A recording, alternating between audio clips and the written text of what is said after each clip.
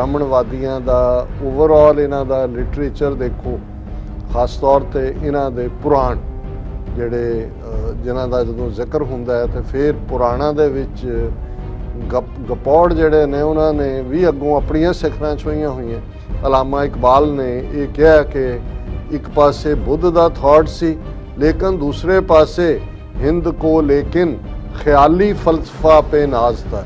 ਇਹ ਜਿਹੜਾ ਖਿਆਲੀ ਫਲਸਫਾ ਹੈ ਉਹ ਇਹੀ ਹੈ, ਮੈਂ ਕੌਣ, ਕਹਾਂ ਸੇ ਆਇਆ, ਕਹਾਂ ਜਾਣਾ ਹੈ? ਔਰ ਉਸ ਸਾਰੇ ਦੇ ਦਿਵਾਲੇ ਫਿਰ ਘੁਮਾਈ ਜਾਓ, ਫਿਰ ਬ੍ਰਾਹਮਣ ਆਪਸ ਬੈਠ ਕੇ ਸ਼ਾਸਤਰਾਰਥ ਕਰਦੇ ਨੇ। ਇੱਕ ਦੂਜੇ ਨਾਲ ਜਿਹੜਾ ਉਹ ਨਾ ਲੋਕ ਜਿਹੜੇ ਨੇ, ਉਹ ਤਾੜੀਆਂ ਮਾਰ ਰਹੇ ਨੇ, ਨਾ ਉਹਨਾਂ ਨੂੰ ਪਤਾ ਕੀ ਹੋ ਰਿਹਾ ਨਾ ਉਹਨਾਂ ਨੂੰ ਪਤਾ ਹੈ। ਲੇਕਿਨ ਬ੍ਰਾਹਮਣ ਇਸ ਗੱਲ ਦਾ ਧਿਆਨ ਰੱਖੇ ਕਿ ਬ੍ਰਾਹਮਣ ਸਿਰਫ ਮਜ਼ਹਬ ਦੇ ਤੌਰ ਦੇ ਉੱਤੇ ਅਗੂਆ ਨਹੀਂ ਹੈ, ਜਾਂ ਰਹਿਨੁਮਾ, ਜਾਂ ਲੀਡਰ ਨਹੀਂ ਹੈ। ਬ੍ਰਾਹਮਣ ਨੇ ਸਮਾਜ ਦੇ ਵਿੱਚ ਸਾਰੇ ਹੀ ਜਿਹੜੇ ਫੀਲਡ ਨੇ ਉਹਨਾਂ ਦੇ ਉੱਤੇ ਆਪਣਾ ਜਿਹੜਾ ਅਧਿਕਾਰ ਆਪਣਾ ਹੱਕ ਆਪਣੀ ਡੋਮੀਨੈਂਸ ਆਪਣੀ ਸੁਪੀਰੀਅਰਿਟੀ ਰੱਖੀ ਹੋਈ ਹੈ। ਜੇ ਤੁਸੀਂ ਮਜ਼ਹਬ ਦੀ ਦੁਨੀਆ ਜਾਂ ਦੂਸਰੇ ਸਭ ਤੋਂ ਵੱਡਾ ਕਾਮਿਕ ਦੇਖਣਾ ਹੋਏ ਜਾਂ ਗਪੌੜ ਦੇਖਣਾ ਹੋਏ ਤਾਂ ਉਹ ਪੁਰਾਣ ਨੇ। ਔਰ ਅੱਜ ਜਿਹੜਾ ਹਿੰਦੂ ਤਵੀਆਂ ਨੇ ਜਿਹੜਾ ਧਰਮ ਲੋਕਾਂ ਦੇ ਵਿੱਚ ਪ੍ਰੀਚ ਕੀਤਾ ਹੋਇਆ ਹੈ ਜਾਂ ਜਿਹਨੂੰ ਹਿੰਦੂ ਅੱਜ ਮੰਨਦੇ ਨੇ ਉਹ ਪੌਰਾਣਿਕ ਹਿੰਦੂ ਧਰਮ ਹੈ ਵੈਦਿਕ ਨਹੀਂ। ਜਦੋਂ ਹੀ ਡੋਮੀਨੈਂਸ ਬ੍ਰਾਹਮਣ ਦੀ ਹੁੰਦੀ ਹੈ ਔਰ ਉਹੀ ਕਿ ਖਿਆਲੀ ਫਲਸਫੇ ਦੇ ਉੱਤੇ ਲਿਆ ਕੇ ਲੋਕਾਂ ਨੂੰ ਖੜਾ ਕਰਦੇ ਨੇ ਜ਼ਾਤ ਪਾਤ ਦੇ ਉੱਤੇ ਖੜਾ ਕਰਦੇ ਨੇ ਕਰਮ ਕਾਂਡ ਲਿਆਉਂਦੇ ਨੇ ਕਰਮ ਜਿਹੜਾ ਹੈ ਉਹਦੇ ਨਾਲ ਜੁੜਿਆ ਹੋਇਆ ਕਿਸਮਤ ਕਿ ਜੋ ਤੁਹਾਡੇ ਲਿਖਿਆ ਹੈ ਨਸੀਬਾਂ 'ਚ ਜੀ ਉਹੀ ਤੁਹਾਨੂੰ ਮਿਲਣਾ।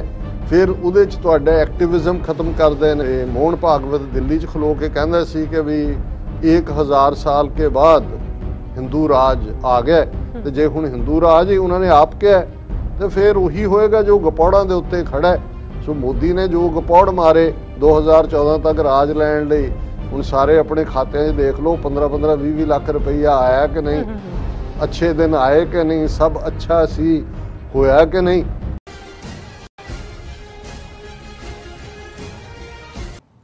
ਵਾਹਿਗੁਰੂ ਜੀ ਕਾ ਖਾਲਸਾ ਵਾਹਿਗੁਰੂ ਜੀ ਕੀ ਫਤਿਹ। ਅਸਲਾਮ ਵਾਲੇਕਮ ਆਦਾਬ ਬਰਜ ਮਾਹ ਤੁਹਾਡੀ ਹੋਸਟ ਨੀਲਮ ਕੋਟ ਮੈਂ ਟੀਵੀ ਫੋਰ ਦੇ ਸਾਰੇ ਦਰਸ਼ਕਾਂ ਤੇ ਸਰੋਤਿਆਂ ਨੂੰ। ਜੀ ਆਇਆਂ ਕਹਿੰਦੀਆਂ ਪ੍ਰੋਗਰਾਮ ਸੱਚੋ ਸੱਚ ਵਿੱਚ, ਜਿਹੜੇ ਇਸ ਪ੍ਰੋਗਰਾਮ ਨਾਲ ਦੇਸ਼ਾਂ ਵਿਦੇਸ਼ਾਂ ਤੋਂ ਜੁੜ ਚੁੱਕੇ ਨੇ। ਖਾਲਸਾ ਨਾ ਅਫੇਅਰ ਸੈਂਟਰ ਦੇ ਸੰਚਾਲਕ ਡਾਕਟਰ ਅਮਰਜੀਤ ਸਿੰਘ ਜੀ ਰੋਜ਼ਾਨਾ ਤਰ੍ਹਾਂ ਸਟੂਡੀਓ 'ਚ ਮੇਰੇ ਨਾਲ ਮੌਜੂਦ ਨੇ। ਆਓ ਉਹਨਾਂ ਨਾਲ ਗੱਲਬਾਤ ਕਰਕੇ ਅੱਜ ਦੇ ਆਮ ਸ਼ੁਜ਼ਫਰ ਉਹਨਾਂ ਤੋਂ ਉਹਨਾਂ ਦਾ ਤਜ਼ੀਆ ਜਾਣਦੇ ਹਾਂ। ਜੀ, ਡਾਕਟਰ ਸਾਹਿਬ, ਵਾਹਿਗੁਰੂ ਜੀ ਕਾ ਖਾਲਸਾ, ਵਾਹਿਗੁਰੂ ਜੀ ਕੀ ਫਤਿਹ। ਹਾਂਜੀ, ਨੀਲਮ ਕੌਰ ਜੀ, ਤੁਹਾਨੂੰ ਵੀ ਤੇ ਦੁਨੀਆ ਭਰ ਚ ਬੈਠੇ ਸਾਡੇ ਬਹੁਤ ਹੀ ਪਿਆਰੇ, ਸੋਹਣੇ, ਸਿਆਣੇ ਟੀਵੀ 84 ਦੇ ਦਰਸ਼ਕਾਂ ਨੂੰ ਵੀ ਵਾਹਿਗੁਰੂ ਜੀ ਕਾ ਖਾਲਸਾ ਵਾਹਿਗੁਰੂ ਜੀ ਕੀ ਫਤਿਹ। ਤੇ ਸਾਡੇ ਬਹੁਤ ਹੀ ਪਿਆਰੇ ਮੁਸਲਮਾਨ ਭੈਣਾਂ ਭਰਾਵਾਂ ਨੂੰ ਅਸਲਾਮ ਜੀ ਅਲੈਕੁਮ। ਡਾਕਟਰ ਸਾਹਿਬ ਜੀ ਆਇਆਂ ਨੂੰ ਪ੍ਰੋਗਰਾਮ ਸੱਚੋ ਸੱਚ ਵਿੱਚ। ਬਹੁਤ ਸ਼ੁਕਰੀਆ। ਜੀ ਡਾਕਟਰ ਸਾਹਿਬ ਅੱਜ 6 ਜੁਲਾਈ 2021 22 ਹਾੜ ਨਾਨਕਸ਼ਾਹੀ ਸੰਮਤ 553 ਦਾ ਦਿਨ ਹੈ। ਤੇ ਡਾਕਟਰ ਸਾਹਿਬ ਪ੍ਰੋਗਰਾਮ ਸ਼ੁਰੂ ਕਰਨ ਤੋਂ ਪਹਿਲਾਂ ਅਸੀਂ ਆਪਣੇ ਦਰਸ਼ਕਾਂ ਤੇ ਸਰੋਤਿਆਂ ਨੂੰ ਹਮੇਸ਼ਾ ਤਰ੍ਹਾਂ ਦੱਸਿਓ ਵੀਅਰਸ ਜੇ ਤੁਸੀਂ ਹੱਕ ਸੱਚ ਇਨਸਾਫ ਤੇ ਪਿਆਰਾ ਦਿਨ ਦਾ ਇੱਕ ਇੱਕ ਚੈਨਲ ਟੀਵੀ 84 ਨੂੰ ਦੇਖਣਾ ਚਾਹੁੰਦੇ ਹੋ ਤਾਂ ਤੁਸੀਂ ਦੇਖ ਸਕਦੇ ਹੋ Spectrum cable RCN cable Bell Fibe cable Canada Roku Jadoo box Oshawa Facebook TV 84 ਦੀ ਐਪ ਰਾਹੀਂ online streaming and IP box ਤੇ ਤੁਸੀਂ ਟੀਵੀ 84 ਨੂੰ ਦੇਖ ਸਕਦੇ ਹੋ। ਵਿਊਅਰਸ ਜੇ ਤੁਸੀਂ ਟੀਵੀ 84 ਨਾਲ ਜਾਂ ਪ੍ਰੋਗਰਾਮ ਸੱਚੋ ਸੱਚ ਨਾਲ ਫੇਸਬੁੱਕ ਰਾਹੀਂ ਜੁੜੇ ਹੋ ਤਾਂ ਸੁਣੋ ਵੱਧ ਤੋਂ ਵੱਧ ਲਾਈਕ ਕਰੋ ਤੇ ਸ਼ੇਅਰ ਕਰੋ ਅਤੇ ਨਾਲ ਹੀ YouTube ਤੇ ਸਬਸਕ੍ਰਾਈਬ ਵੀ ਕਰੋ। ਇਹ ਵੀ ਦੱਸ ਦਈਏ ਕਿ ਤੁਸੀਂ ਟੀਵੀ 84 ਦੀ ਐਪ ਨੂੰ ਐਂਡਰੋਇਡ ਐਂਡ ਐਪ ਸਟੋਰ ਤੇ ਡਾਊਨਲੋਡ ਕਰਕੇ ਜੋ ਟੀਵੀ 84 ਦੀ ਲਾਈਵ ਸਟ੍ਰੀਮ ਹੈ, ਉਸ ਨੂੰ ਤੁਸੀਂ 24 ਆਵਰਸ ਦੇਖ ਸਕਦੇ ਹੋ। ਵਿਊਅਰਸ ਹੁਣ ਅਸੀਂ ਆਪਣੇ ਪ੍ਰੋਗਰਾਮ ਦੀ ਸ਼ੁਰੂਆਤ ਕਰਨ ਜਾ ਰਹੇ ਹਾਂ। ਪ੍ਰੋਗਰਾਮ ਦੇ ਸ਼ੁਰੂ ਦੇ ਵਿੱਚ ਜੇ, ਸਾਡੇ ਪ੍ਰੋਗਰਾਮ ਜਿਨ੍ਹਾਂ ਨੇ ਸਪਾਂਸਰ ਕੀਤਾ ਹੈ ਅਸੀਂ ਉਹਨਾਂ ਬਾਰੇ ਦੱਸੀਏ। ਇਹ ਸਾਡੇ ਪ੍ਰੋਗਰਾਮ ਨੂੰ ਸਪਾਂਸਰ ਕੀਤਾ ਗਿਆ ਹੈ ਕਲਾਮਾਜ਼ੂ ਮਿਸ਼ੀਗਨ ਤੋਂ ਸਰਦਾਰ ਗੁਰਦੇਵ ਸਿੰਘ ਹੋਰਾਂ ਵੱਲੋਂ। ਸੋ ਉਹ ਪਿਛਲੇ 3 ਦਹਾਕਿਆਂ ਤੋਂ ਅਜੋਕੇ ਸਿੱਖ ਸੰਘਰਸ਼ ਵਿੱਚ ਸੇਵਾ ਜਿਹੜੀ ਹੈ ਉਹ ਨਿਭਾ ਰਹੇ ਨੇ ਔਰ ਸਿੱਖ ਯੂਥ ਆਫ ਅਮਰੀਕਾ ਨਾਲ ਜੁੜ ਕੇ ਖਾਲਸਾ ਦੀ ਪ੍ਰਾਪਤੀ ਲਈ ਚੱਲ ਰਹੇ ਸੰਘਰਸ਼ ਵਿੱਚ ਹਮੇਸ਼ਾ ਜਿਹੜੇ ਨੇ ਉਹ ਸਰਗਰਮ ਰਹਿੰਦੇ ਨੇ। ਸੋ ਅੱਜ ਦੀ ਸਪਾਂਸਰਸ਼ਿਪ ਲਈ ਅਸੀਂ ਸਰਦਾਰ ਗੁਰਦੇਵ ਸਿੰਘ ਹੋਰਾਂ ਦਾ ਤਹਿ ਦਿਲ ਤੋਂ ਸ਼ੁਕਰੀਆ ਅਦਾ ਕਰਦੇ ਹਾਂ ਔਰ ਅਸੀਂ ਤੁਹਾਨੂੰ ਵੀ ਅਪੀਲ ਕਰਦੇ ਹਾਂ, ਬੇਨਤੀ ਕਰਦੇ ਹਾਂ ਕਿ ਤੁਸੀਂ ਵੀ ਵੱਧ ਤੋਂ ਵੱਧ ਪ੍ਰੋਗਰਾਮ ਸ- ਸੱਚੋ ਸੱਚ ਨੂੰ ਜਿਹੜੀ ਹੈ ਤੁਸੀਂ ਸਪਾਂਸਰ ਕਰੋ। ਆਪਣੀ ਸਪਾਂਸਰਸ਼ਿਪ ਲਈ ਤੁਸੀਂ ਸਾਡੇ ਨੰਬਰ ਜਿਹੜੇ ਹੈਗੇ ਨੇ 5166191984 ਤੇ ਸਾਨੂੰ ਕਾਲ ਕਰ ਸਕਦੇ ਹੋ। ਔਰ WhatsApp ਵੀ ਸੇਮ ਨੰਬਰ ਤੇ ਕਰ ਸਕਦੇ ਹੋ ਔਰ ਨਾਲ ਹੀ ਤੁਸੀਂ ਸਾਨੂੰ ਈਮੇਲ ਵੀ ਕਰ ਸਕਦੇ ਹੋ info@tv4.tv ਤੇ।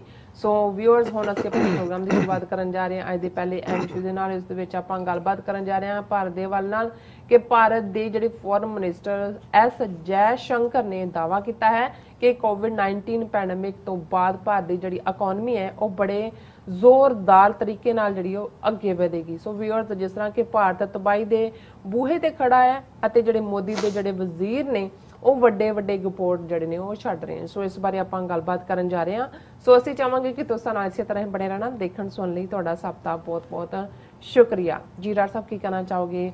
ਮੋਦੀ ਸਰਕਾਰ ਦੇ ਜਿਹੜੇ ਵੱਡੇ ਵੱਡੇ ਗਪੋੜਾਂ ਬਾਰੇ ਜਿਹੜੇ ਵਜ਼ੀਰ ਜਿਹੜੇ ਮਾਰ ਰਹੇ ਨੇ ਉਹਨਾਂ ਬਾਰੇ ਤੁਸੀਂ ਕੀ ਕਹਿਣਾ ਚਾਹੋਗੇ? ਅ, ਦੇਖੋ ਸਭ ਤੋਂ ਪਹਿਲਾਂ ਤਾਂ ਅਸੀਂ ਆਪਣੇ ਉਹਨਾਂ ਸਾਰੇ ਦਰਸ਼ਕਾਂ ਦਾ ਬਹੁਤ ਸ਼ੁਕਰੀਆ ਅਦਾ ਕਰਦੇ ਹਾਂ। ਕੱਲ ਦੇ ਸਾਡੇ ਸਾਰੇ ਸੈਗਮੈਂਟਸ ਦੇ ਉੱਤੇ ਬਹੁਤ ਸਾਰੇ ਐਪਰੀਸ਼ੀਏਟਿਵ ਕਮੈਂਟ ਆਏ। ਕੁਝ ਕੁ ਜਿਹੜੇ ਨੇ ਸਵਾਲ ਵੀ ਨੇ ਜਿਹੜੇ ਅਸੀਂ ਆਉਣ ਵਾਲੇ ਦਿਨਾਂ ਦੇ ਵਿੱਚ ਉਹਨਾਂ ਦੇ ਸਵਾਲਾਂ ਦੇ ਜਵਾਬ ਵੀ ਦੇਵਾਂਗੇ ਅੱਛਾ। ਔਰ ਅਸੀਂ ਇਸੇ ਲਈ 4 ਤੋਂ 5 ਸੈਗਮੈਂਟ ਕੀਤੇ ਨੇ ਤਾਂ ਕਿ ਅਸੀਂ ਕਮੈਂਟਸ ਔਰ ਸਵਾਲਾਂ ਨੂੰ ਅਕਮੋਡੇਟ ਕਰ ਸਕੀਏ। ਹਾਂ ਇਹ ਜ਼ਰੂਰ ਹੈ ਕਿ ਜਿਸ ਦਿਨ ਜ਼ਿਆਦਾ ਅਹਿਮੀਅਤ ਵਾਲੇ ਕੋਈ ਜਿਹੜੇ ਟੌਪਿਕਸ ਹੋਣਗੇ ਉਸ ਦਿਨ ਅਸੀਂ ਉਹਨਾਂ ਨੂੰ ਅਮਿਟ ਵੀ ਕਰਾਂਗੇ। ਜੀ। ਭਾਈ ਗੁਰਦੇਵ ਸਿੰਘ ਜਿਹੜੇ ਕਲਾਮਾਜ਼ੂ ਮਿਸ਼ੀਗਨ ਸਟੇਟ ਚ ਬੇਸਡ ਨੇ।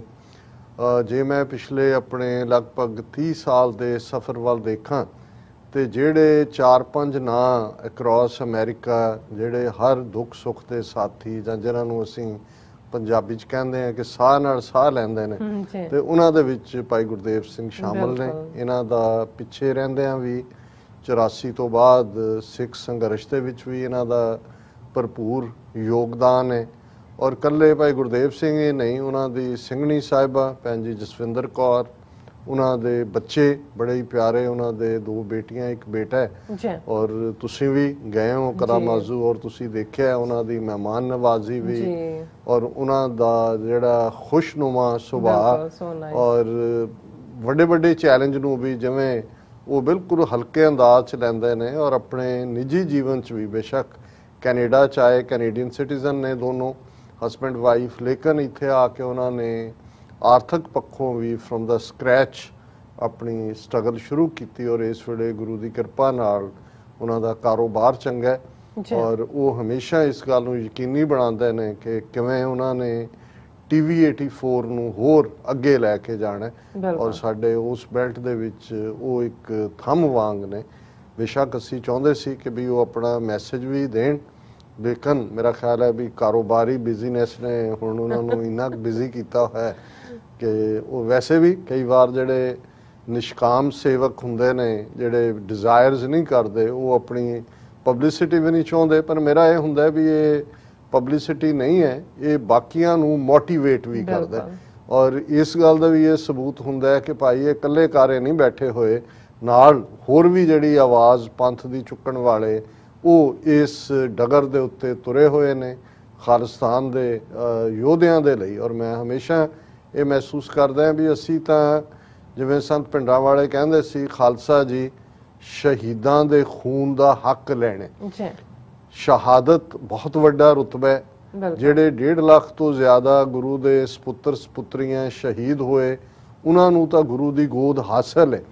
ਲੇਕਿਨ ਘੱਟੋ ਘੱਟ ਅਸੀਂ ਜੇ ਮਾੜੀ ਮੋਟੀ ਵੀ ਜ਼ਮੀਰ ਰੱਖਦੇ ਹਾਂ ਫਿਰ ਸਾਡਾ ਇਹ ਫਰਜ਼ ਹੈ ਕਿ ਅਸੀਂ ਸ਼ਹੀਦਾਂ ਦੇ ਡੁੱਲੇ ਖੂਨ ਨੂੰ ਜਿਹੜਾ ਉਹ ਅਜਾਈ ਨਾ ਜਾਣ ਦਈਏ। ਔਰ ਜਿਵੇਂ ਉਹਨਾਂ ਦੇ ਡੁੱਲੇ ਖੂਨ ਦਾ ਹੱਕ ਤਾਂ ਖਾਲਿਸਤਾਨ ਦੀ ਗੱਲ ਹੈ। ਤੋ ਇਹ ਵੀ ਠੀਕ ਹੈ ਕਿ ਅਸੀਂ ਅਮਰੀਕਾ 'ਚ ਰਹਿੰਦੇ ਆਂ ਅਮਰੀਕਨ ਕਾਨੂੰਨਾਂ ਇੰਟਰਨੈਸ਼ਨਲ ਕਾਨੂੰਨਾਂ ਦੀ ਜ਼ਦ 'ਚ ਰਹਿੰਦੇ ਆਂ ਗੱਲ ਕਰਨੀ ਔਰ ਕਰਦੇ ਵੀ ਆਂ ਅਸੀਂ। ਲੇਕਿਨ ਜੇ ਤੁਸੀਂ ਇਸ ਵੱਲ ਪਿੱਠ ਕਰਦੇ ਹੋ ਤੇ ਫਿਰ ਤੁਸੀਂ ਕਿਹੜਾ ਮੂੰਹ ਗੁਰੂ ਨੂੰ ਦਿਖਾਓਗੇ?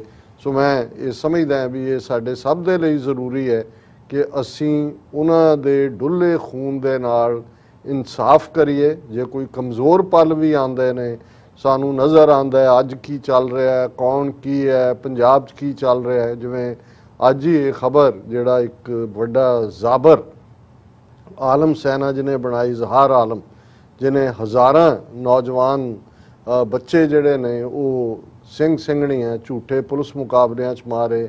ਅੰਮ੍ਰਿਤਸਰ 'ਚੋਂ ਐਸਐਸਪੀ ਹੁੰਦਾ ਸੀ।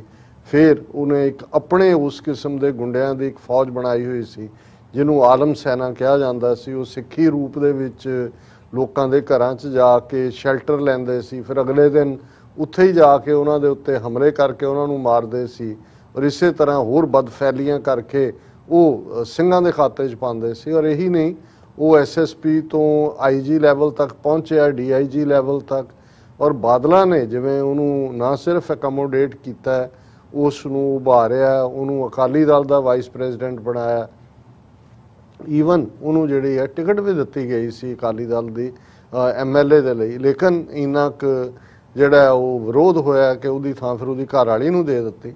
ਔਰ ਇਸ ਜ਼ਾਲਮ ਇਨਸਾਨ ਨੇ ਸਾਕਾ ਨਕੋਦਰ ਜਿਹਦੇ ਚ ਅਸੀਂ ਦੇਖਦੇ ਹਾਂ ਕਿ ਕਿਵੇਂ ਚਾਰ ਬਡਿੰਗ ਸਿੱਖ ਨੌਜਵਾਨ ਔਰ ਇਹ ਉਸ ਪੀਰੀਅਡ ਦੀ ਗੱਲ ਹੈ, ਜਦੋਂ ਅਜੇ ਖਾਲਿਸਤਾਨ ਦਾ ਐਲਾਨਨਾਮਾ ਵੀ ਨਹੀਂ ਸੀ ਹੋਇਆ ਔਰ ਗੁਰੂ ਗ੍ਰੰਥ ਸਾਹਿਬ ਦੇ ਅਦਬ ਅਦਾਬ ਨੂੰ ਲੈ ਕੇ ਜਿੱਥੇ ਨਕੋਦਰ ਦੇ ਵਿੱਚ ਗੁਰੂ ਗ੍ਰੰਥ ਸਾਹਿਬ ਦੀ ਜਿਹੜੇ ਸਰੂਪ ਨੇ ਉਹਨਾਂ ਨੂੰ ਅਗਨ ਭੇਟ ਕੀਤਾ ਗਿਆ ਸੀ ਔਰ ਬਿਲਕੁਲ ਸ਼ਿਵ ਸੈਨਾ ਔਰ ਪੁਲਿਸ ਦਾ ਰਲਵਾਂ ਕਾਰਾ ਸੀ ਔਰ ਚਾਰ ਸਿੱਖ ਨੌਜਵਾਨ ਜਿਹੜੇ ਹਜ਼ਾਰਾਂ ਦੀ ਸਿੱਖ ਸ- ਸਿੱਖ ਸੰਗਤ ਦੇ ਨਾਲ ਨਕੋਦਰ ਵੱਲ ਮਾਰਚ ਕਰ ਰਹੇ ਸੀ ਬਾਹਰਲੇ ਪਿੰਡਾਂ ਤੋਂ ਆ ਕੇ ਉਹਨਾਂ ਦੀਆਂ ਆਊਟਸਕਰਟਸ ਤੇ ਸੀ ਸਿਟੀ ਦੇ।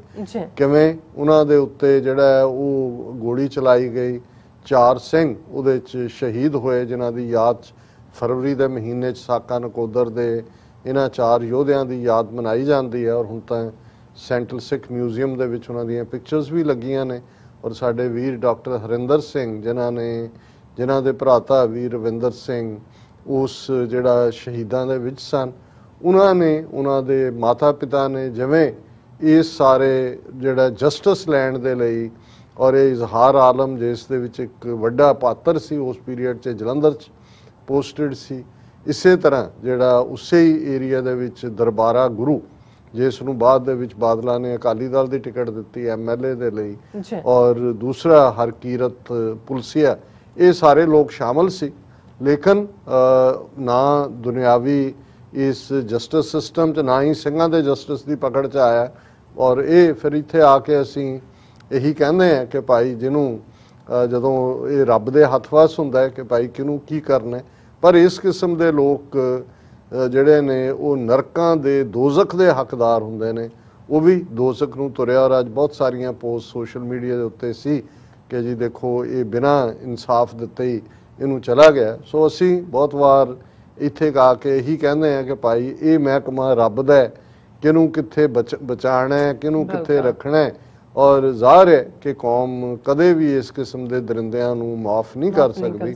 ਲੇਕਿਨ ਰੱਬ ਦੀ ਦਰਗਾਹ 'ਚ ਇੱਕ ਗੱਲ ਸਾਨੂੰ ਯਾਦ ਰਹੇ ਕਿ ਉੱਥੇ ਸੱਚੇ ਹੀ ਸੱਚ। ਨਿਬੜੈ ਚੁਣ ਵਖ ਕੱਢੈ ਜਜਮਾਲਿਆ।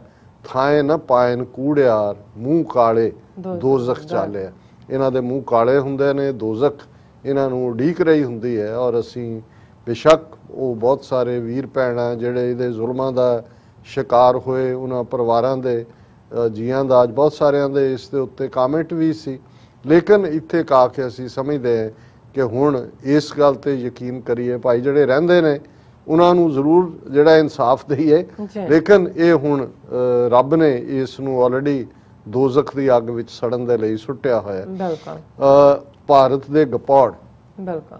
ਇੱਕ ਗੱਪ ਹੁੰਦੀ ਹੈ ਔਰ ਇੱਕ ਗਪੌੜ ਹੁੰਦਾ ਹੈ। ਜਦੋਂ ਤੁਸੀਂ ਇੱਕ ਗੱਪ ਤਾਂ ਵੈਸੇ ਹੀ ਇੱਕ ਫਲਾਅ ਵਾਲੀ ਹੁੰਦੀ ਜਦੋਂ ਗੱਪ ਦੇ ਵਿੱਚ ਇੰਨੀ ਕੁ ਗੈਸ ਭਰ ਦਿਓ ਕਿ ਵੀ ਉਸ ਦਾ ਇੰਨਾ ਕੁ ਫਲਾਅ ਹੋਏ ਕਿ ਹਵਾ 'ਚ ਹੀ ਉੱਡ ਰਹੀ ਹੋਏ ਤੇ ਉਹਨੂੰ ਫਿਰ ਗਪੌੜ ਕਿਹਾ ਰਿਪੋਰਟ ਜਾਂਦਾ ਕਿਹਾ ਜਾਂਦਾ ਔਰ ਇਹਦੇ 'ਚ ਕੋਈ ਸ਼ੱਕ ਨਹੀਂ ਹੈ ਕਿ ਵੈਸੇ ਤਾਂ ਜੇ ਬ੍ਰਾਹਮਣਵਾਦੀਆਂ ਦਾ ਓਵਰਆਲ ਇਹਨਾਂ ਦਾ ਲਿਟਰੇਚਰ ਦੇਖੋ, ਖਾਸ ਤੌਰ ਤੇ ਇਹਨਾਂ ਦੇ ਪੁਰਾਣ ਜਿਹੜੇ ਜਿਨ੍ਹਾਂ ਦਾ ਜਦੋਂ ਜ਼ਿਕਰ ਹੁੰਦਾ ਹੈ ਤੇ ਫਿਰ ਪੁਰਾਣਾਂ ਦੇ ਵਿੱਚ ਗਪ, ਗਪੌੜ ਜਿਹੜੇ ਨੇ ਉਹਨਾਂ ਨੇ ਵੀ ਅੱਗੋਂ ਆਪਣੀਆਂ ਸਿਖਰਾਂ ਛੋਈਆਂ ਹੋਈਆਂ।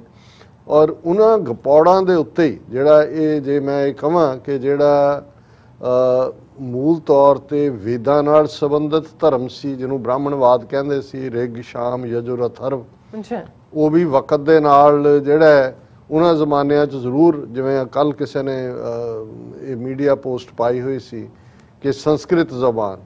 ਉਹਨੇ ਕਿਹਾ ਕਿਸੇ ਨੇ ਕਿਸੇ ਨੂੰ ਸੰਸਕ੍ਰਿਤ 'ਚ ਕਦੇ ਵਿਆਹ ਦੇ ਗੀਤ ਗਾਉਂਦੇ ਸੁਣੇ ਕਿਸੇ ਨੇ ਸੰਸਕ੍ਰਿਤ 'ਚ ਮਾਂ ਨੂੰ ਬੱਚੇ ਨੂੰ ਲੋਰੀਆਂ ਦਿੰਦਿਆਂ ਦੇਖਿਆ ਕਿਸੇ ਨੇ ਸੰਸਕ੍ਰਿਤ ਦੇ ਵਿੱਚ ਕੋਈ ਹੋਰ ਆਲਾ ਦੁਆਲਾ ਲੋਕਾਂ ਦੇ ਵਿੱਚ ਦੇਖਿਆ ਉਹਨਾਂ ਨੇ ਕਿਹਾ ਫਿਰ ਵੀ ਇਹ ਸਿਰਫ ਤੇ ਸਿਰਫ ਬ੍ਰਾਹਮਣ ਦੀ ਲੈਂਗੁਏਜ ਹੈ ਪਰ ਜਿਵੇਂ ਉਹਨੂੰ ਜਿਹੜਾ ਕਲਾਸਿਕ ਲੈਂਗੁਏਜ ਦੇ ਥੱਲੇ ਔਰ ਜਿਵੇਂ ਸਾਰੀ ਉਹਦੇ ਨਾਲ ਜੋੜ ਕੇ ਬ੍ਰਹਮ ਵਿਦਿਆ ਦੇ ਨਾਲ ਇਹਨੂੰ ਜੋੜਿਆ ਗਿਆ ਲੇਕਿਨ ਫਿਰ ਵੀ ਰਿਗਵੇਦ ਹੋਏ, ਸ਼ਾਸਤਰ ਹੋਣ, ਛੇ ਸ਼ਾਸਤਰ ਨੇ, ਜਾਂ ਅੱਗੋਂ ਜਿਹੜੀ ਹੈ ਉਹਨਾਂ ਦੀ ਵੇਦਾਂ ਦੀ ਇੰਟਰਪ੍ਰੀਟੇਸ਼ਨ ਸਿਮਰਤੀਆਂ ਨੇ, ਜਾਂ ਉਪਨਿਸ਼ਦ ਨੇ, ਜਿਨ੍ਹਾਂ ਨੂੰ ਅੱਗੋਂ ਫਿਰ ਉਸ ਫਿਲਾਸਫੀ ਨੂੰ ਵੇਦਾਂਤਾ ਕਿਹਾ ਜਾਂਦਾ ਹੈ, ਉਹਦੇ 'ਚ ਤੁਹਾਨੂੰ ਫਿਰ ਵੀ ਫਿਲਾਸਫੀ ਭਾਵੇਂ ਬਹੁਤ ਸਾਰੀ ਜਿਹੜੀ ਵਿਦਾਂਤ ਜਾਂ ਦੂਜੇ ਚ ਉਹ ਹੈ ਤੇ ਦਿਮਾਗੀ ਜਿਹਨੂੰ ਮੱਥਾ ਪੱਛੀ ਕਹਿੰਦੇ ਨੇ ਜਿਸ ਨੂੰ ਅਲਾਮਾ ਇਕਬਾਲ ਨੇ ਇਹ ਕਿਹਾ ਕਿ ਇੱਕ ਪਾਸੇ ਬੁੱਧ ਦਾ ਥਾਟ ਸੀ ਲੇਕਿਨ ਦੂਸਰੇ ਪਾਸੇ ਹਿੰਦ ਕੋ ਲੇਕਿਨ ਖਿਆਲੀ ਫਲਸਫਾ ਪੇ ਨਾਜ਼ ਥਾ। ਇਹ ਜਿਹੜਾ ਖਿਆਲੀ ਫਲਸਫਾ ਹੈ ਉਹ ਇਹੀ ਹੈ ਮੈਂ ਕੌਣ ਕਹਾਂ ਸੇ ਆਇਆ ਕਹਾਂ ਜਾਣਾ ਹੈ ਔਰ ਉਸ ਸਾਰੇ ਦੇ ਦੁਆਲੇ ਫਿਰ ਘੁਮਾਈ ਜਾਓ ਫਿਰ ਬ੍ਰਾਹਮਣ ਆਪਸ 'ਚ ਬੈਠ ਕੇ ਸ਼ਾਸਤਰਾਰਥ ਕਰਦੇ ਨੇ, ਇੱਕ ਦੂਜੇ ਨਾਲ ਜਿਹੜਾ ਉਹ ਨਾ, ਲੋਕ ਜਿਹੜੇ ਨੇ ਉਤਾੜੀਆਂ ਮਾਰ ਰਹੇ ਨੇ, ਨਾ ਉਹਨਾਂ ਨੂੰ ਪਤਾ ਹੈ ਕੀ ਹੋ ਰਿਹਾ ਨਾ ਉਹਨਾਂ ਨੂੰ ਪਤਾ ਹੈ। ਲੇਕਿਨ ਲੇਟਰ ਔਨ ਬ੍ਰਾਹਮਣ ਨੇ ਦੇਖਿਆ ਕਿ ਭਈ ਉਸ ਦੀ ਜਿਹੜੀ ਪਕੜ ਹੈ, ਜਿਹੜੀ, ਔਰ ਬ੍ਰਾਹਮਣ ਇਸ ਗੱਲ ਦਾ ਧਿਆਨ ਰਹੇ ਕਿ ਬ੍ਰਾਹਮਣ ਸਿਰਫ ਮਜ਼ਹਬ ਦੇ ਤੌਰ ਦੇ ਉੱਤੇ ਅਗੂਆ ਨਹੀਂ ਹੈ, ਜਾਂ ਰਹਿਨੁਮਾ ਜਾਂ ਲੀਡਰ ਨਹੀਂ ਹੈ। ਬ੍ਰਾਹਮਣ ਨੇ ਸਮਾਜ ਦੇ ਵਿੱਚ ਸਾਰੇ ਹੀ ਜਿਹੜੇ ਫੀਲਡ ਨੇ ਉਹਨਾਂ ਦੇ ਉੱਤੇ ਆਪਣਾ ਜਿਹੜਾ ਅਧਿਕਾਰ, ਆਪਣਾ ਹੱਕ, ਆਪਣੀ ਡੋਮੀਨੈਂਸ ਆਪਣੀ ਸੁਪੀਰੀਅਰਿਟੀ ਰੱਖੀ ਹੋਈ ਹੈ, ਉਹ ਸੋਸ਼ਲ ਵੀ ਇਕਨੋਮਿਕਲ ਵੀ, ਆਰਥਿਕ ਵੀ, ਜੰਮਣ ਤੋਂ ਪਹਿਲਾਂ ਵੀ, ਜੰਮਦਿਆਂ ਵੀ, ਜਿਉਂਦਿਆਂ ਵੀ, ਮਰਿਆਂ ਵੀ, ਮਰਨ ਤੋਂ ਬਾਅਦ ਵੀ। ਉਹ ਸਰਾਧ ਪਿੱਤਰ, ਪਿੰਡ ਭਰਾਣਾ ਜੇ ਤੁਸੀਂ ਦੇਖੋ, ਔਰ ਕੁੱਲ ਮਿਲਾ ਕੇ ਬ੍ਰਾਹਮਣ ਨੇ ਡਿਸਾਈਡ ਕਰਨਾ ਹੈ ਤੁਹਾਡਾ ਨਾਂ ਕੀ ਰੱਖਣਾ ਹੈ। ਤਾਂ ਉੱਥੋਂ ਗੱਲ ਸ਼ੁਰੂ ਹੋ ਜਾਂਦੀ ਹੈ, ਤੁਸੀਂ ਕੀ ਕਰਨਾ ਹੈ, ਕੀ ਨਹੀਂ ਕਰਨਾ ਜਿਹੜਾ ਬ੍ਰਾਹਮਣ ਨੇ ਕਰਮ ਕਾਂਡ ਦਾ ਜਾਲ ਬੁਣਿਆ ਅੱਛਾ ਉਸ ਦੇ ਵਿੱਚ ਇਹ ਫਸੇ ਹੋਏ ਨੇ। ਫਿਰ ਉਸ ਕਰਮ ਕਾਂਡ ਨੂੰ ਜਸਟੀਫਾਈ ਕਰਨ ਲਈ ਬਹੁਤ ਲੇਟਰ ਵੇਦਾਂ ਸ਼ਾਸਤਰਾਂ ਸਿਮਰਤੀਆਂ ਤੋਂ ਬਾਅਦ ਪੁਰਾਣ ਜਿਹੜੇ ਉਹਨਾਂ ਨੂੰ ਜਿਹੜਾ ਰਚਿਆ ਗਿਆ ਔਰ ਪੁਰਾਣ ਗਪੌੜ ਨੇ। ਔਰ ਜੇ ਉਹਨਾਂ ਦਾ ਜ਼ਿਕਰ ਕਰੀਏ ਤੇ ਮੇਰਾ ਖਿਆਲ ਹੈ ਵੀ ਅਸੀਂ ਬੇਸ਼ੱਕ ਬਹੁਤ ਸਾਰੀਆਂ ਫਨੀ ਕਹਾਣੀਆਂ ਜਾਂ ਅੱਜ ਬਹੁਤ ਸਾਰੇ ਜਿਹੜੇ ਨੇ ਕਾਮਿਕਸ ਉਸ ਨੂੰ ਬੱਚੇ ਦੇਖਦੇ ਨੇ। ਲੇਕਿਨ ਜੇ ਤੁਸੀਂ ਮਜ਼ਹਬ ਦੀ ਦੁਨੀਆ ਜਾਂ ਦੂਸਰੇ ਸਭ ਤੋਂ ਵੱਡਾ ਕਾਮਿਕ ਦੇਖਣਾ ਹੋਏ ਜਾਂ ਗਪੌੜ ਦੇਖਣਾ ਹੋਏ ਤਾਂ ਉਹ ਪੁਰਾਣ ਨੇ। ਔਰ ਅੱਜ ਜਿਹੜਾ ਹਿੰਦੂ ਤਵੀਆਂ ਨੇ ਜਿਹੜਾ ਧਰਮ ਲੋਕਾਂ ਦੇ ਵਿੱਚ ਪ੍ਰੀਚ ਕੀਤਾ ਹੋਇਆ ਹੈ ਜਾਂ ਜਿਹਨੂੰ ਹਿੰਦੂ ਅੱਜ ਮੰਨਦੇ ਨੇ ਉਹ ਪੁਰਾਣਿਕ ਹਿੰਦੂ ਧਰਮ ਹੈ ਵੈਦਿਕ ਨਹੀਂ। ਔਰ ਇਹੀ ਕਾਰਨ ਹੈ ਔਰ ਉਸੇ ਹੀ ਪੁਰਾਣਾ ਦੇ ਵਿੱਚ ਜਿਹੜਾ ਵਿਸ਼ਨੂੰ ਪੁਰਾਣ ਔਰ ਜਦੋਂ ਵਿਸ਼ਨੂੰ ਪੁਰਾਣ ਦੀ ਗੱਲ ਹੁੰਦੀ ਹੈ ਉਹਦੇ ਹੀ ਤੁਸੀਂ ਫਿਰ ਦੇਖਦੇ ਹੋ ਕਿ ਕਿਵੇਂ ਵਿਸ਼ਨੂੰ ਦੇ ਅੱਡ ਅੱਡ ਅਵਤਾਰ ਕਿਵੇਂ ਉਹ ਹਰ ਥਾਂ- ਯੁੱਗ ਦੇ ਵਿੱਚ ਅਵਤਾਰ ਲੈਂਦਾ ਉਹਦੇ ਚੋਂ ਰਾਮ ਜੀ ਕ੍ਰਿਸ਼ਨ ਜੀ ਵਾਸੁਦੇਵਾ ਜਿਹੜਾ ਜਿਹਨੂੰ ਸਤਜੁਗ ਦੇ ਨਾਲ ਜੋੜਿਆ ਗਿਆ ਵਾਮਨ ਅਵਤਾਰ ਹੈਂ, ਉੱਥੋਂ ਤੁਸੀਂ ਸ਼ੁਰੂ ਕਰਦੇ ਹੋ। ਔਰ ਉਹ ਸਾਰਿਆਂ ਦੇ ਆਲੇ ਦੁਆਲੇ ਫਿਰ ਇਸ ਕਿਸਮ ਦੀਆਂ ਕਹਾਣੀਆਂ ਜੜੀਆਂ ਗਈਆਂ। ਰਾਮਾਇਣ ਉਹਦਾ ਇੱਕ ਹਿੱਸਾ ਹੁੰਦਾ ਹੈ। ਤੁਸੀਂ ਹਨੂਮਾਨ ਦੀ ਪੂੰਛ ਨੂੰ ਵੀ ਅੱਗ ਲੱਗਦੇ ਦੇਖਦੇ ਹੋ ਪਹਾੜ ਚੁੱਕਿਆ ਵੀ ਦੇਖਦੇ ਹੋ। ਸਮੁੰਦਰ ਟੱਪਿਆ ਵੀ ਦੇਖਦੇ ਹੋ ਔਰ ਉਹ ਸਾਰੇ ਜਿਹੜੇ ਪਾਰਟ ਨੇ ਉਹ ਤਾਂ ਬਹੁਤ ਛੋਟੇ ਨੇ ਕਿਉਂਕਿ ਉਹ ਤਾਂ ਹੁਣ ਇੱਕ ਡਰਾਮੇ ਦੇ ਤੌਰ ਦੇ ਉੱਤੇ ਲੋਕਾਂ ਦੇ ਲਈ ਉਹਨਾਂ ਦੀ ਆਸਥਾ ਦੇ ਨਾਲ ਜੋੜ ਦਿੱਤਾ ਗਿਆ। ਪਰ ਪੁਰਾਣਾ ਦੇ ਵਿੱਚ ਜੇ ਤੁਸੀਂ ਇਵਨ ਮਰਨ ਤੋਂ ਬਾਅਦ ਗਰੜ ਪੁਰਾਣ ਹੈ ਬਿਲਕੁਲ। ਔਰ ਉਹਦੇ ਤੁਸੀਂ ਦੇਖੋ ਵੀ ਗਰੜ ਕੀ ਕੁਝ ਕਰਦਾ ਹੈ ਔਰ ਇਹ ਸਾਰਾ। ਹੁਣ ਕਿਉਂਕਿ ਇਹਨਾਂ ਦੀ ਤਰਬੀਅਤ ਮੈਂ ਇਹ ਇੰਨਾ ਕੁ ਲੰਬਾ ਚੌੜਾ ਇਸ ਲਈ ਦਿੱਤਾ ਹੈ ਕਿ ਜਦੋਂ ਤੁਸੀਂ ਕਿਸੇ ਦੇ ਵਜੂਦ ਨੂੰ ਸਮਝਣਾ ਹੈ ਕਿਸੇ ਵੀ ਤੁਸੀਂ ਸਿਵਲਾਈਜੇਸ਼ਨ ਦੇ ਬੰਦੇ ਨੂੰ ਤੁਸੀਂ ਮਿਲਣਾ ਜੇ ਤੁਸੀਂ ਇੱਕ ਚੀਨੇ ਨੂੰ ਮਿਲਦੇ ਹੋ, ਤੇ ਫਿਰ ਤੁਸੀਂ ਦੇਖੋਗੇ ਕਿ ਬੇਸ਼ੱਕ ਕਹਿਣ ਨੂੰ ਚੀਨ ਜਿਹੜਾ ਉਹ ਇੱਕ ਨਾਸਤਕ ਮੁਲਕ ਹੈ। ਉਹਨਾਂ ਨੇ ਮਾਉਸ ਮਾਉਸੇ ਤੁੰਗ ਦਾ ਮਾਓਵਾਦ ਰੱਬ 'ਚ ਯਕੀਨ ਨਹੀਂ ਕਰਦਾ। ਲੇਕਿਨ ਇਹਦੇ 'ਚ ਕੋਈ ਸ਼ੱਕ ਨਹੀਂ ਹੈ ਕਿ ਚੀਨ ਦਾ ਇੱਕ ਵੱਡਾ ਹਿੱਸਾ ਅੱਜ ਵੀ ਬਹੁਤ ਸਾਰੀਆਂ ਜਿਹੜੀਆਂ ਸੁਪਰਸਟੀਸ਼ਨਸ ਨੇ, ਜਿਹੜੇ ਭਰਮ ਨੇ, ਜਿਹੜੇ ਉਹਦੇ 'ਚ ਵੀ ਫਸੇ ਹੋਏ ਨੇ, ਕੀ ਸ਼ੁਭ ਹੈ, ਕੀ ਅਸ਼ੁਭ ਹੈ ਚੀਨੇ ਇਸ ਬਾਰੇ ਕਿਉਂਕਿ ਉਹ ਉਹਨਾਂ ਦੀ ਤਹਿਜ਼ੀਬ 'ਚੋਂ ਆਉਂਦੇ ਨੇ। ਲੇਕਿਨ ਤੁਸੀਂ ਚਾਈਨੀਜ਼ ਥਿੰਕਿੰਗ ਦੇ ਵਿੱਚ ਤਾਓਇਜ਼ਮ ਵੀ ਦੇਖਦੇ ਹੋ ਉਹ ਸਾਰੀ ਸਿਆਣਪ ਕਨਫਿਊਸ਼ਿਜ਼ਮ ਦੇਖਦੇ ਹੋ ਵਿਜ਼ਡਮ ਨੂੰ ਦੇਖਦੇ ਹੋ ਪਲੱਸ ਉਹਨਾਂ ਦੀ ਜਿਹੜੀ ਤਹਿਜ਼ੀਬੀ ਤਰੱਕੀ ਔਨ ਦਾ ਗਰਾਊਂਡ ਸੋ ਬਹੁਤ ਵਾਰ ਜਦੋਂ ਤੁਸੀਂ ਚੀਨੀ ਕਰੈਕਟਰ ਨੂੰ ਦੇਖਣਾ ਹੈ ਮੌਜੂਦਾ ਜਨਰੇਸ਼ਨ ਨੂੰ ਦੇਖਣਾ ਹੈ ਤੇ ਤੁਹਾਨੂੰ ਪਾਸ ਜਾ ਕੇ ਦੇਖਣਾ ਪਏਗਾ। ਜੀ। ਇਸੇ ਤਰ੍ਹਾਂ ਬੇਸ਼ੱਕ ਅੱਜ ਗ੍ਰੀਸ ਕੋਈ ਬਹੁਤ ਪ੍ਰੋਸਪਰਸ ਮੁਲਕ ਨਹੀਂ ਹੈ, ਪਿੱਛੇ ਜੇ ਉਹਨਾਂ ਦੀ ਇਕਨੋਮੀ ਦਾ ਬਹੁਤ ਬੁਰਾ ਹਾਲ ਸੀ। ਲੇਕਿਨ ਉਹਨਾਂ ਦੇ ਕੋਲ ਸੁਕਰਾਤ, ਪਲੇਟੋ, ਉਹਨਾਂ ਦਾ ਆਰਕੀਟੈਕਚ ਆਰਕੀਟੈਕਚਰਲ ਜਿਹੜੀ ਉਹਨਾਂ ਦੀ ਲਾਈਨ ਰਹੀ ਹੈ ਗ੍ਰੀਕ ਔਰ ਉਹਨਾਂ ਦੀ ਬੇਸ਼ੱਕ ਉਹਨਾਂ ਦੀ ਇੱਕ ਆਪਣੀ ਮਾਈਥੋਲੋਜੀ ਵੀ ਹੈ, ਲੇਕਿਨ ਉਸ ਚੋਂ ਫਿਲਾਸਫੀ ਵਿਜ਼ਡਮ ਔਰ ਤੁਸੀਂ ਅਮਰੀਕਾ ਜਾਂ ਦੂਜੇ 'ਚ ਵੀ ਦੇਖੋਗੇ ਸ਼ਿਪਿੰਗ ਇੰਡਸਟਰੀ ਹੋਏ ਕੰਸਟਰਕਸ਼ਨ ਵਾਲੇ ਲੋਕ ਹੋਣ ਥਾਟਫੁਲ ਲੋਕ ਹੋਣ, ਅੱਜ ਵੀ ਜਦੋਂ ਤੁਸੀਂ ਜਿਹੜੇ ਲੋਕ ਵਿਜ਼ਿਟ ਕਰਦੇ ਨੇ ਮੈਨੂੰ ਤਾਂ ਨਹੀਂ ਮੌਕਾ ਬਣਿਆ ਜਿਹੜੇ ਐਜ਼ ਅ ਟੂਰਿਸਟ ਜਾਂ ਦੂਜੇ ਜਾਂਦੇ ਨੇ ਉਹ ਦੇਖਦੇ ਨੇ ਕਿ ਕਿ ਠਹਿਰੇ ਹੋਏ ਲੋਕ ਕੋਈ ਭੱਜ ਦੌੜ ਨਹੀਂ ਹੈ ਇੱਕ ਆਪਣਾ ਠਹਿਰਾਵ ਜਿਵੇਂ ਉੱਥੇ ਹੀ ਜਿਹੜਾ ਉਹਦੇ ਚੋਂ ਸੰਤੁਸ਼ਟ ਨੇ ਕਿਉਂਕਿ ਉਹ ਸਿਵਲਾਈਜੇਸ਼ਨਲ ਪਾਰਟ ਹੈ ਹੁਣ ਜੇ ਅਸੀਂ ਬੇਸ਼ੱਕ ਜਿਹਨੂੰ ਅੱਜ ਭਾਰਤ ਕਹਿੰਦੇ ਨੇ ਜਾਂ ਸਬ ਕੰਟੀਨੈਂਟ ਹੈ ਇਹਨੂੰ ਕੁਦਰਤ ਨੇ ਹਰ ਪੱਖੋਂ ਨਵਾਜਿਆ ਹੋਇਆ। ਇਹਦੇ 'ਚ ਕੋਈ ਸ਼ੱਕ ਨਹੀਂ ਹੈ ਕਿ ਭਾਈ ਜ਼ਰਖੇਜ਼ ਧਰਤੀ, ਪਹਾੜ ਔਰ ਉਸ ਦੇ ਨਾਲ ਇਹਦੇ 'ਚ ਵੀ ਕੋਈ ਸ਼ੱਕ ਨਹੀਂ ਕਿ ਲਗਭਗ 5-6 ਹਜ਼ਾਰ ਸਾਲ ਪਹਿਲਾਂ ਸਾਡੇ ਖਿੱਤੇ ਦੇ ਵਿੱਚ ਜਿੱਥੇ ਲਹਿੰਦਾ ਪੰਜਾਬ, ਚੜ੍ਹਦਾ ਪੰਜਾਬ, ਸਿੰਧ ਜਿਹੜੀ ਸਿਵਲਾਈਜੇਸ਼ਨ ਇੰਡਸ ਵੈਲੀ ਸਿਵਲਾਈਜੇਸ਼ਨ ਸੀ, ਉਹਨਾਂ ਦੀ ਪ੍ਰੋਗਰੈਸ ਉਹਨਾਂ ਦਾ ਕਿਵੇਂ ਉਹਨਾਂ ਦੀਆਂ ਐਡਵਾਂਸ ਚੀਜ਼ਾਂ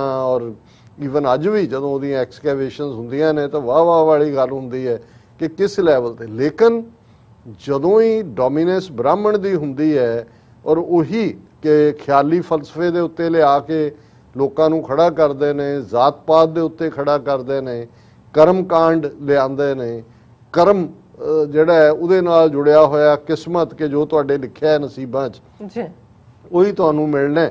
ਫਿਰ ਉਹਦੇ 'ਚ ਤੁਹਾਡਾ ਐਕਟਿਵਿਜ਼ਮ ਖਤਮ ਕਰਦੇ ਨੇ ਕਿਵੇਂ ਇੱਕ ਸੁਸਾਇਟੀ ਦੇ ਹਿੱਸੇ ਨੂੰ ਸ਼ੂਦਰ ਬਣਾਉਂਦੇ ਨੇ ਔਰ ਉਸ ਸਾਰੇ 'ਚ ਜਿਹੜੇ ਲੋਕਾਂ ਨੂੰ ਔਰ ਫਿਰ ਇਹੀ ਨਹੀਂ ਗੁਰਬਤ ਗਰੀਬੀ ਉਹਨੂੰ ਫਿਰ ਜਸਟੀਫਾਈ ਕਰਨ ਲਈ ਬ੍ਰਾਹਮਣਾਂ ਨੇ ਇੱਕ ਦੇਵਤਾ ਦਰਿਦਰ ਨਾਰਾਇਣ ਵੀ ਬਣਾਇਆ ਹੈ ਉਸ ਦੇਵਤੇ ਦਾ ਨਾਂ ਹੀ ਦਰਿਦਰ ਨਾਰਾਇਣ ਕਿਉਂਕਿ ਦਰਿਦਰ ਸੰਸਕ੍ਰਿਤ ਦੇ ਵਿੱਚ ਗੁਰਬਤ ਨੂੰ ਕਹਿੰਦੇ ਨੇ ਗਰੀਬੀ ਨੂੰ ਕਹਿੰਦੇ ਨੇ। ਔਰ ਉਸ ਸਾਰੇ 'ਚ ਫਿਰ ਜੇ ਤੁਸੀਂ ਕਿਸੇ ਨੂੰ ਸਸਟੇਨ ਕਰਨਾ ਹੈ ਉਸ ਸਾਰੇ ਨੂੰ ਫਿਰ ਗਪੌੜ ਛੱਡੋ।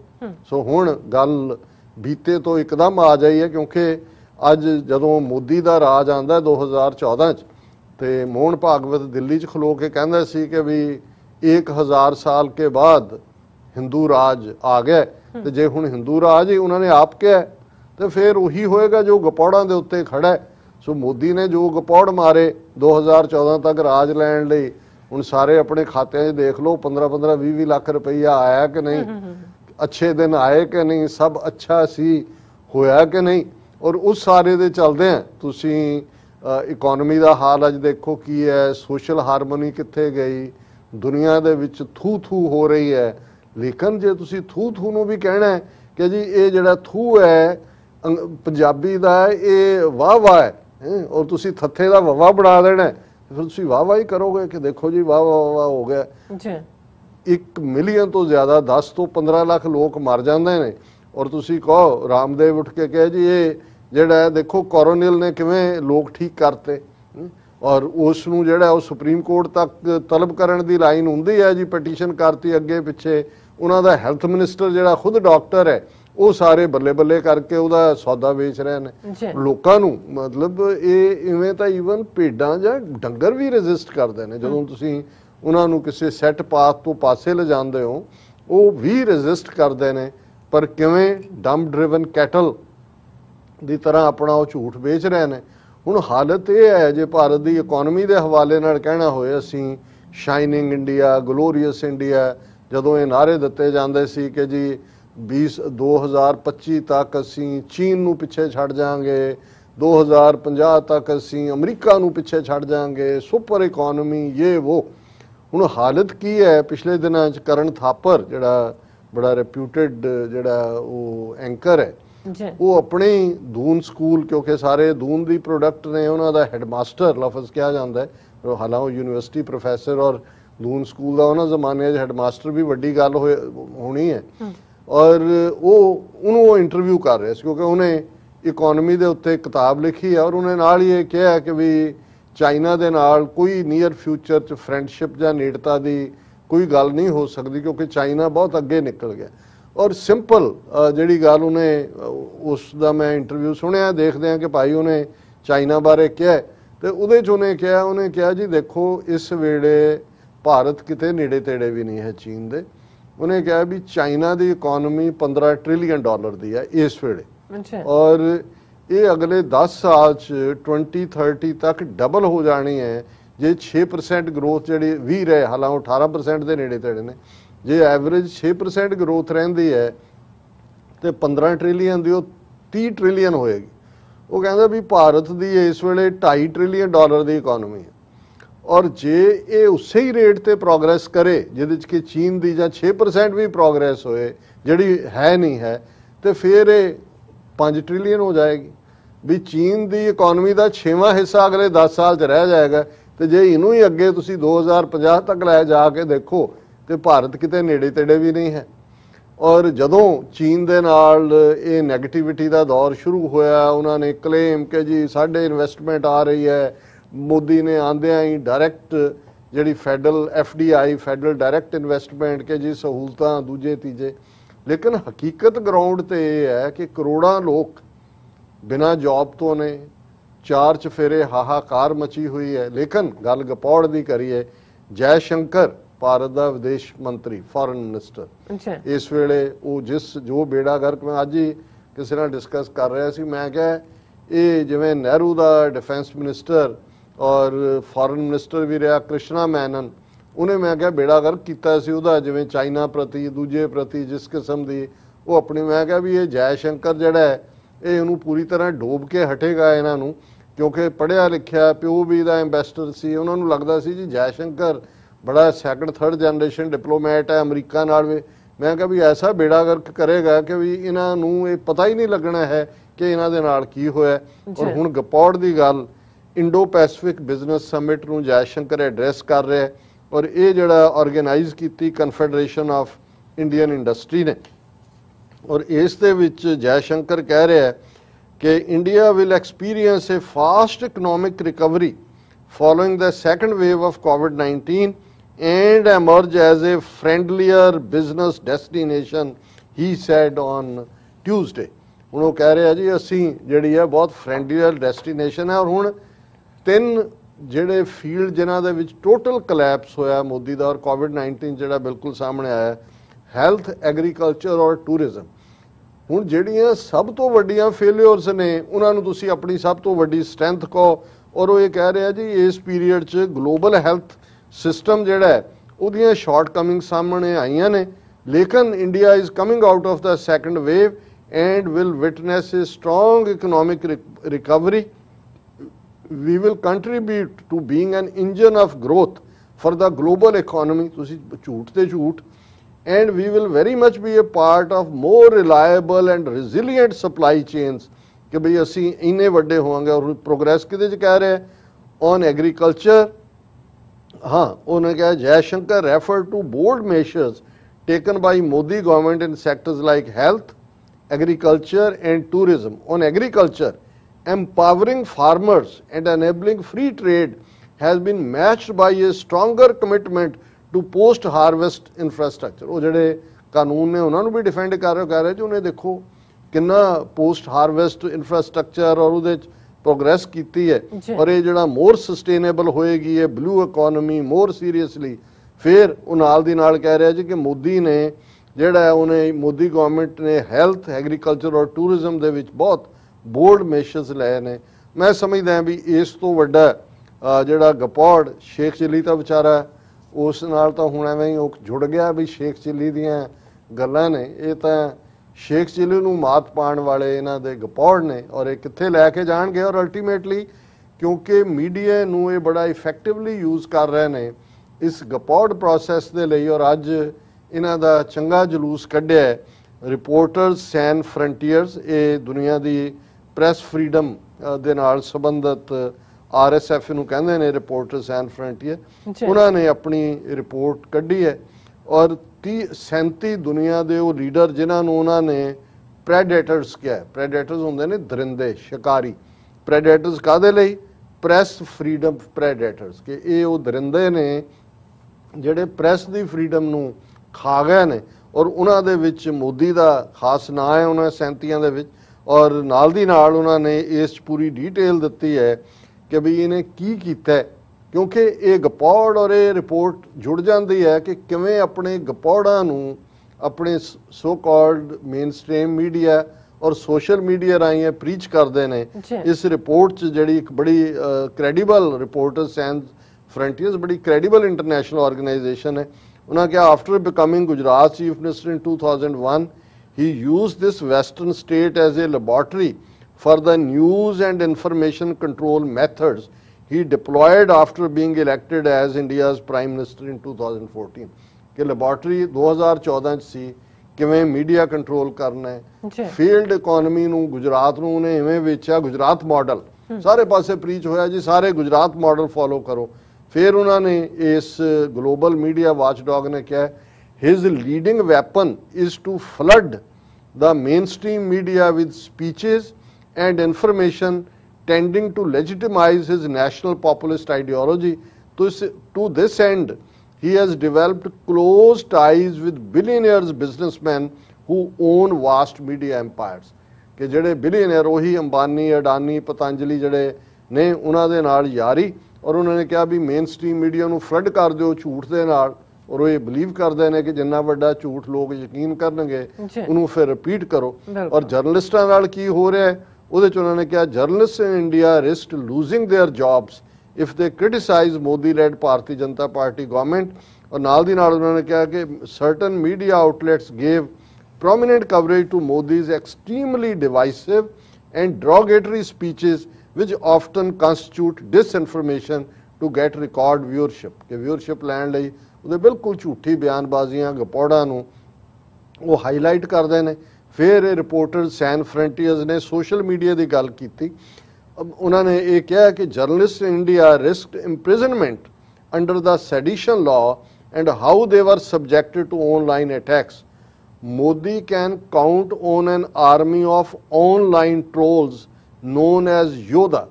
Hindi word for warrior ਕਿ ਵੀ ਆਨਲਾਈਨ ਦੇ ਉੱਤੇ ਉਹਨਾਂ ਨੇ ਟ੍ਰੋਲਰ ਬਿਠਾਏ ਹੋਏ ਨੇ ਜਿਨ੍ਹਾਂ ਨੂੰ ਯੋਧੇ ਕਹਿੰਦੇ ਨੇ ਜੀ who wage appalling hate campaigns on social media against the journalists they don't like, campaigns that almost routinely include calls for journalists to be killed. ਕਿ ਉਹ ਜਿਹੜੇ ਆਨਲਾਈਨ ਬਿਠਾਏ ਹੋਏ ਨੇ ਟ੍ਰੋਲਰਸ ਉਹ ਜਰਨਲਿਸਟਾਂ ਨੂੰ ਧਮਕੀਆਂ ਵੀ ਦਿੰਦੇ ਨੇ ਔਰ ਪੂਰਾ 네ਗੇਟਿਵਿਟੀ ਕਰਦੇ ਨੇ ਫਿਰ ਉਹਨਾਂ ਨੇ ਈਵਨ ਗੱਲ ਕੀਤੀ ਕਿ ਕਿਵੇਂ ਜਰਨਲਿਸਟ ਗੌਰੀ ਲੰਕੇਸ਼ ਨੂੰ ਮਾਰਿਆ ਗਿਆ ਹੈ ਔਰ ਰਾਣਾ ਅਯੂਬ ਔਰ ਦੂਸਰਿਆਂ ਨੂੰ ਕਿਵੇਂ ਧਮਕੀਆਂ ਦਿੱਤੀਆਂ ਜਾ ਰਹੀਆਂ ਨੇ। ਔਰ ਇਹ ਸਾਰੇ ਚ ਉਹਨਾਂ ਨੇ ਕਿਹਾ ਕਿ ਵੀ India was one of the most dangerous countries in the world for journalist the reporters and frontiers had said in April ਕਿ ਅਪ੍ਰੈਲ ਦੀ ਰਿਪੋਰਟ ਜਿਨ੍ਹਾਂ ਨੇ ਆਲਰੇਡੀ ਕਿਹਾ ਸੀ। ਹੁਣ ਉਹਨਾਂ ਨੇ ਮੋਦੀ ਨੂੰ ਪ੍ਰੈਸ ਫਰੀडम ਪ੍ਰੈਡੇਟਰਸ ਦੀ ਲਿਸਟ ਦੇ ਦਰਿੰਦੇ ਦੇ ਵਿੱਚ ਰੱਖਿਆ।